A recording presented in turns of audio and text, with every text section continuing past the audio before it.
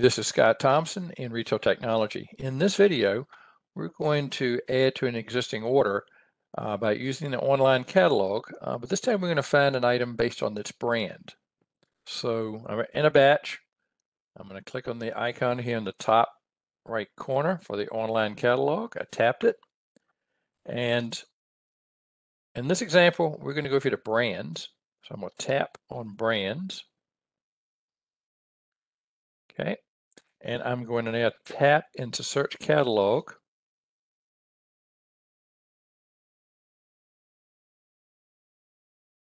Okay, and it's showing some things I've recently searched on, but I'm going to click here again to key in something new.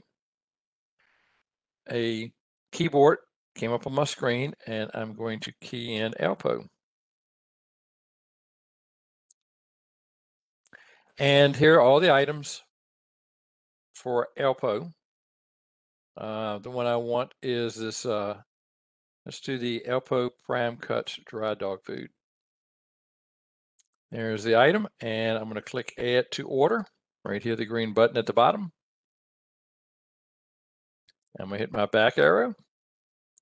And let's see, let's go ahead and do the Chop House Gravy as well. So I'm going to tap on the chop house gravy. And let's add that one to the order. Up at the top, I'll click my green arrow. I'm gonna go back a couple more times. I'll hit cancel here and continue hitting that green arrow to get back to my batch. Oh, I went too, one too far. I'm gonna go back into my batch, order started. There we go. There's that Alpo um, uh, chop house gravy and the one below that, the Alpo prime cuts. That's it for this video. Thank you.